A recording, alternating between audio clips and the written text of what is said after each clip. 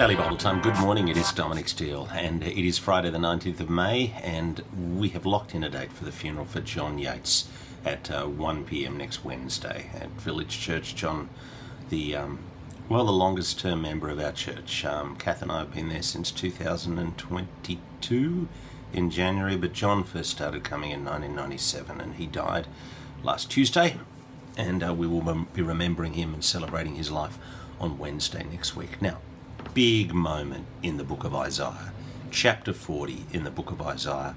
Comfort, comfort my people, says your God. Speak tenderly to Jerusalem and proclaim to her that her hard service has been, been completed, that her sin has been paid for, and that she's received from the Lord's hand double for all her sins. Now, comfort, comfort my people.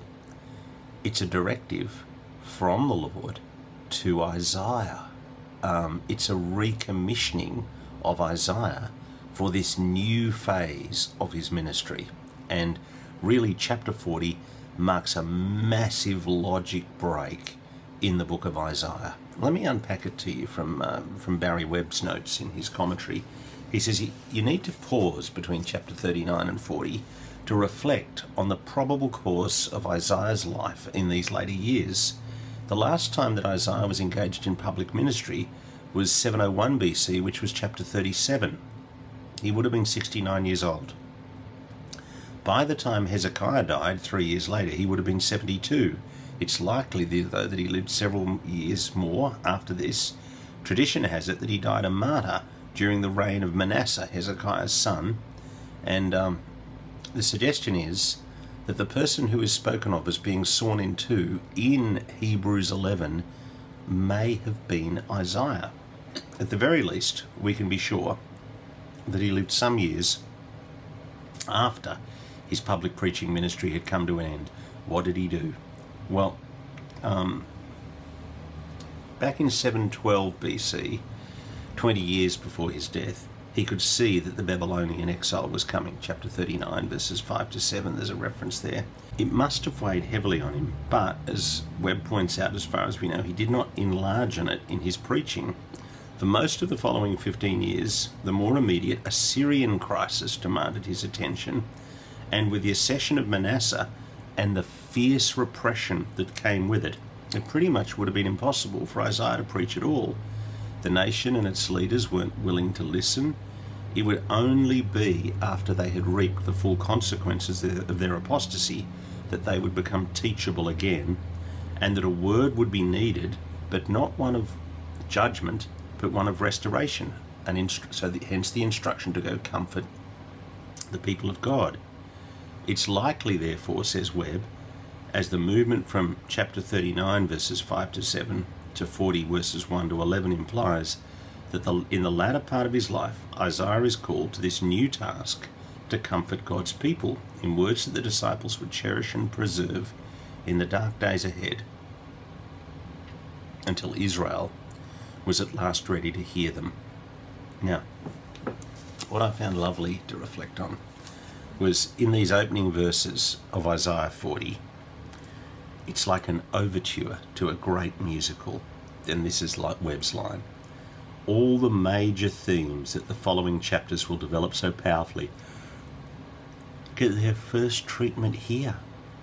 Atonement, verse 1. Comfort, comfort my people. Speak tenderly, says your God. Speak tenderly to Jerusalem.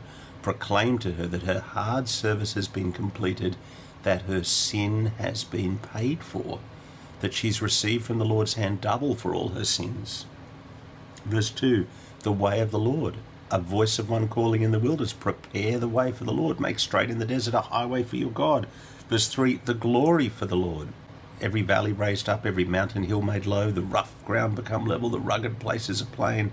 The glory of the Lord, there it is, the glory of the Lord, verse 5, be revealed, and all the people will see it for the mouth of the Lord has spoken. Webb notes the first thing that we hear is three striking, stirring commands comfort, speak, proclaim. Verses 1 and 2. The tone is urgent, but it's not clear at this point to whom these verses are directed. And so I'm thinking, who is it? And then you get um, a voice says, verse 6, cry out. And I said, What shall I cry? And at last somebody speaks, What shall I cry? He's not so much volunteering as he is the one to whom the speaker was thinking all the time. These are his prophetic credentials. He has stood in God's counsel. He has heard God calling him, and he will now take up. Now, that person is the prophet Isaiah.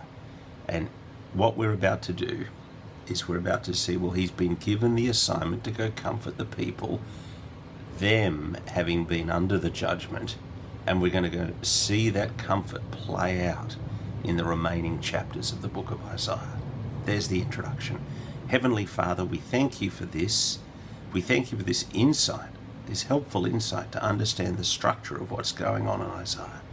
And we pray that we might revel in the comfort that the prophet Isaiah gives to the people of God back then and what is relevant to us today. And we pray this in Jesus' name. Amen. Thanks for joining us, Daily Bible Time. See you tomorrow morning. God bless.